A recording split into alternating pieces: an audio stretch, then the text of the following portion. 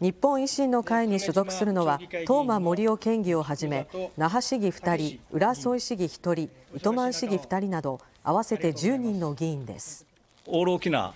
というだけではなく、そしてまたあの自民党という保守だけではない、やっぱり第三極をこの沖縄で作っていかなければいけないという思いがですねこれまでも、えある中で、ですねその期待にあの添えるようにですねあの頑張ってやっていきたいなというふうに思って会見で東間県議は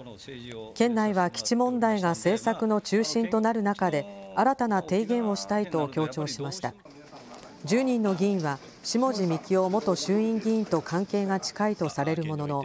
沖縄県総支部の浦野代表は下地氏の復党の可能性についてはほぼ0%と否定しています。